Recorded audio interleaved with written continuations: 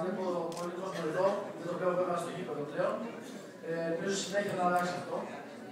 Ευχαριστώ πολύ ξανά και ελπίζω σε κάτι καλύτερο.